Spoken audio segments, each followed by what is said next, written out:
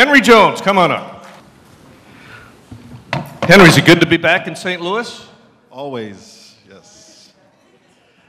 You had great days here at St. Louis U High, and why don't we just get to it right off the top and tell, tell you about your life and experiences with Coach Martell.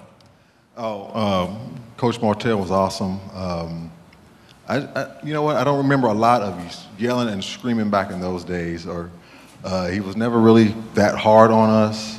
I think Dan Isom can contrib- uh, attribute to that. But uh, just a, I mean, I just remember him being such a great guy, a great coach, uh, just passionate about what he did, and uh, he loved his players, obviously. And uh, just, I just have great memories of Coach Martell back in those days. Well, then you went on from here to Illinois, and uh, you had a pretty good career in the Big Ten. Yeah, you, Illinois was a, a, lot of fun. I met a lot of great guys there. Um, and it started off kind of rough. We had we didn't have great success for my first couple of years there, but uh, when my class when we became uh, sophomores, uh, we went to a bowl game. I think we were like uh, seven and six. I think our record was. And then my junior and senior years, we really had some good football teams. Uh, we, we beat the, the number one team in the country at that time. It was University of Colorado. We went on the road, beat USC my junior year in, in the Coliseum. Uh, that was a great game. It was on a Monday night, actually on a Labor Day night. One of my great memories there. Had an interception that game. Uh, they had a lot of great players that went on to play in the NFL, and we had a lot of great players, and that was a, that was a really special moment there. But uh, uh we beat Ohio State three of, uh, matter of fact, three of my four years there. Uh, so yeah, we had some good teams there. I mean, we had, we had a good time. You know, folks, uh, here in St. Louis, we don't hear of many St. Louis football players being highly drafted. We have a few more today than we didn't used to. But uh, this man was a first rounder in uh, 1991 in, in a modern era by the Buffalo Bills. Yeah, that, that was an interesting time. Um, getting drafted by Buffalo was special. Now, uh, they had just came off a Super Bowl where they lost um, by a kick against the New York Giants, the wide right kick. I was watching that game in college, so um, I, uh, my agent told me that I had an opportunity to go to Buffalo. I was like, okay.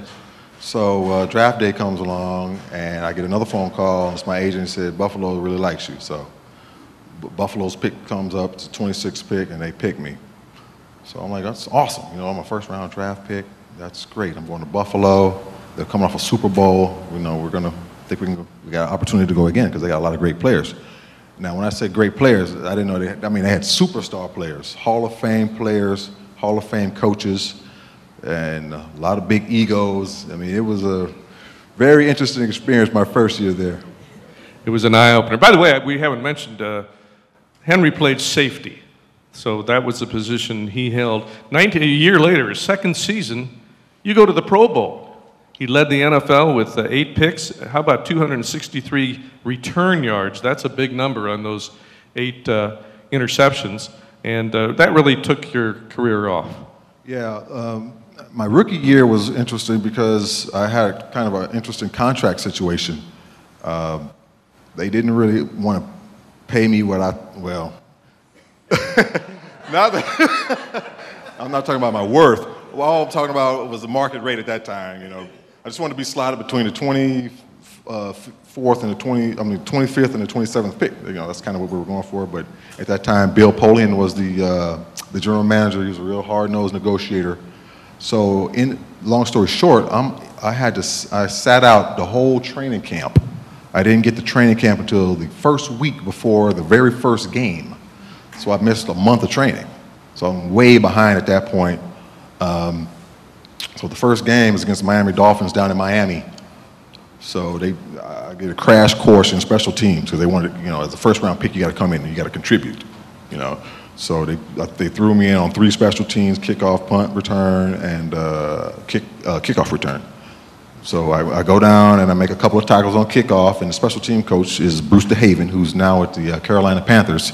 He said, Henry, that was a great game, man. We're really proud of you, and we, you know, we're really happy. Just keep up, keep up the good work and keep working hard, and things will be all right. So I did that. I played a lot of special teams my freshman uh, rookie year, and then they worked me in on defense, and then eventually I was able to start uh, my second year in the league, absolutely. How many AFC championships? They went to four, and I played, You went to I three. played in three So you played. championships. You played in three Yep, three Super Bowls. Three Super Bowls. Three Super Bowls right here. He's got a big old ring, folks. Let me tell you, he's, he, I need some sunglasses up here. He's got some diamonds on. He played with Jim Kelly, Thurman Thomas, and maybe the, maybe the best defensive, I guess, end in the history of the game at Bruce Smith. Yes, I mean, again, going into that situation was interesting. I mean, I'm like, man, these guys are really good. I got to really pick my game up. I'll never forget one one practice. Um, can't remember what year it was, but it's just a typical practice, you know. And it, it, at those times, the offense, when the offense is out there, the defense is sitting around on the bench. We're not doing anything. We have a, a a scout team. So then when the defense is out there, the offense is sitting around, kind of just hanging out. So I come off the field from our defensive period, get some water, and Jim Kelly looks up at me. He said, he said, man, you think you can play in this league? You know, I'm cocky at this point. I'm like, if you can, I can. So, so I'm like, these guys, you know, they, we had some special, uh, some special players and special teams. How about playing for Coach Marv Levy? Yeah. And you know Marv is a St. Louisan too, by the way. Yeah, Marv is a he's a special guy. Um, he's not a real rah-rah coach. He's not a real uh, yeller and screamer. He's real cerebral. Every day he comes in with uh, quotes, Churchill, uh, Nietzsche, whoever it may be that day. He, he's going to he's to give us a quote, a story, uh, Battle of the Bulge, whatever it may be, uh, some kind of inspirational story. You're seriously, and uh, a lot of the guys are kind of looking at each other like, "What's Marv talking about?" But I think, uh, I mean, we have a lot of respect for Marv. Obviously, he's a Hall of Fame coach, did a great job, and I have a, a lot of respect for him. I love Marv. Some cold days in Buffalo. Yeah, Buffalo's, Buffalo's intense with the winters now. I'm, unbelievable. I mean, my wife can attest. I mean, it will snow and snow and snow and snow. We walk, I walked out my house one day and the snow is piled up taller than the house. No kidding. Cars get covered by the plows with snow. Uh, one game, I'll tell you about, uh, I think we were playing the Patriots. I can't remember the year in the uh, mid 90s. And it's sleeting sideways, sleeting down. I wake up, I'm like, oh my goodness. I mean, I say sleeting sideways, I mean literally, the sleet is just constantly. So I'm, I'm like, I hope, it's, hope this stops before one o'clock kickoff. So we get to the stadium, it's still sleeting, right? I'm like, oh no. So then we're in warm-ups, it's sleeting. I mean, the sleet is hitting you in the eyes, you can hardly see. When I tell you it sleeted for three straight hours during that football game, by the time I got home, I, my eyes were so red I could hardly see. But that's, that's the kind of winters we have in Buffalo. What, uh, who are the toughest guys to defend, the toughest receivers for you? Who, who stands out to, uh, Oh man, we had you know there were a lot of great players uh, back in those days. Uh, do, do you guys remember Mark Clayton and Mark Duper from Miami with Dan Marino? Those guys were really special, and uh, that was a good group of guys. Michael Irvin was really good with those Dallas Cowboys teams that we played in a, couple of Super Bowls.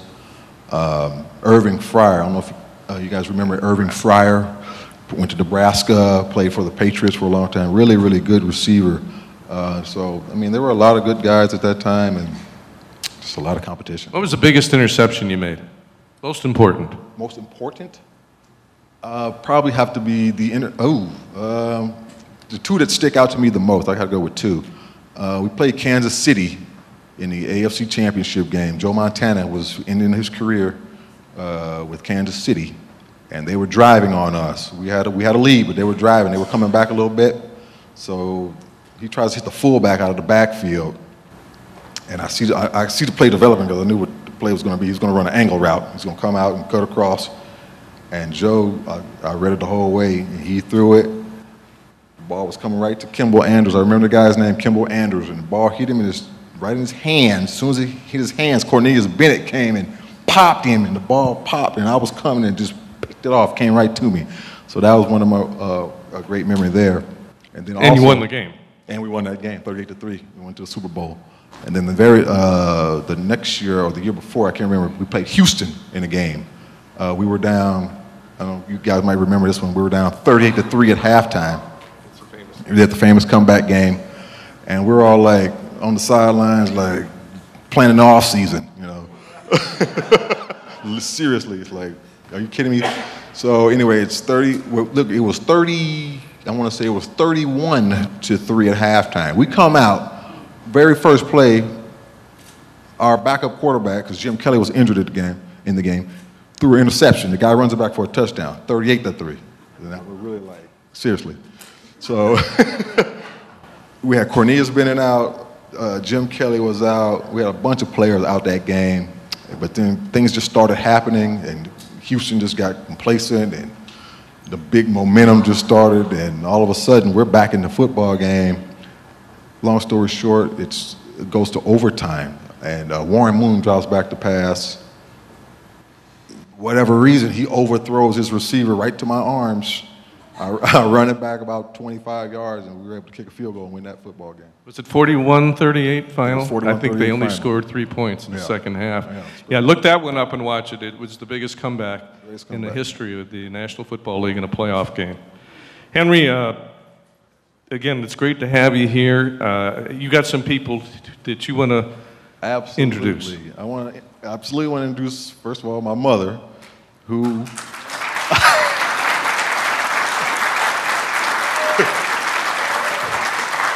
My, now, mom is really an inspiration to be a civil servant for. She's been a nurse in St. Louis for over 50 years. 50 years. Worked at, worked at City Hospital, Homer G. Phillips, just a overall servant of God. Uh, today's her 80th birthday. I want to wish her happy Hey. birthday. just a fan, fantastic servant of the, the living God. I she and Henry's inspired- only 26. exactly. I graduated two years ago at SLU. But she inspires me. And I, my, my wife, special Joanna Jones, my wife, inspires me every day. She's, she's really the most talented one in the house with her energy, her love of life. We look up to her, and she's very passionate. I love her very much. We've been married 17 years. Thank you. And I want to introduce, I want to introduce you uh, to my daughter, Jasmine. Jasmine, stand up. Now, yeah, Jasmine, Jasmine is a national champion hurdler in the 100 meter hurdle. She won the national championship last year. She's 14 years old. Really, I'm sorry, she won two national championships. She won the, the 200 meter hurdles and the 100 meter hurdles. Uh, we have my daughter Jada. She's a state champion in the 100 meter dash, 400, and the 4 by one. Oh, I can't forget my sister, Marsha Davenport, my brother-in-law Michael, my cousin Dan, my cousin Kim, my cousin Miles, and my cousin Lance, who's in the Navy.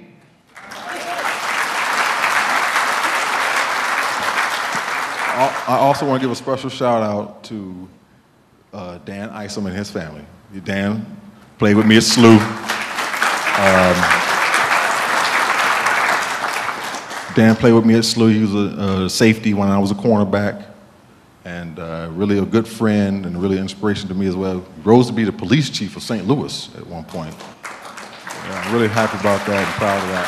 And his wife Jenny and his son Dan, who's going to Northern Illinois on a football scholarship as well. Okay, so Henry, I think you got enough out here that maybe you'll be on Easy Street the rest of the way. These kids can take care of you. But listen, it's great to have you and your family here, and uh, an honor to have a member of the National Football League from our town uh, be inducted. So congratulations this day. You're enshrined into the St. Louis Sports Hall of Fame. Thank you very much. It's a great honor to be honored by my hometown. Absolutely.